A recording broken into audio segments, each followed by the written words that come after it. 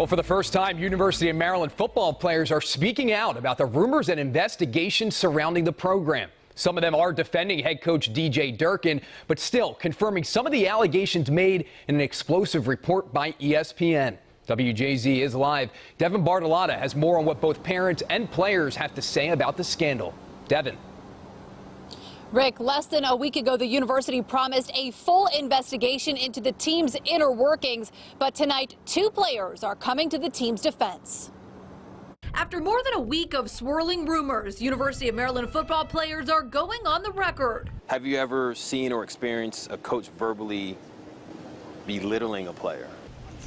Yeah, I mean, that happens. In an exclusive interview with CBS affiliate WUSA 9, defensive tackle Oseh Saine confirmed rumors of a player forced to eat candy bars at a team workout. That did happen, yeah.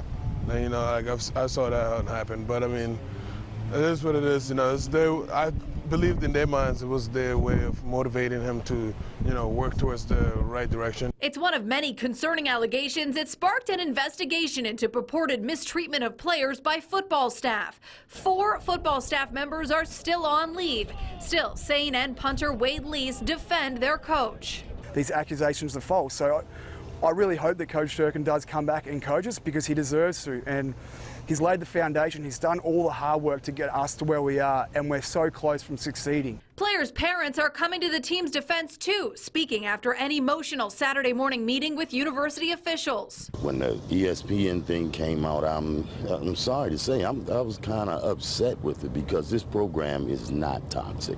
We've gotten tight as a family, and I think it's going to continue to be that way. With an investigation into the team's culture just beginning, both parents and students will get their chance to speak out to a national committee. And Friday, the University System of Maryland Board of Regents voted to take over and oversee the investigation into the team and also into the death of player Jordan McNair. I'm Devin Bartolotta reporting live for WJZ.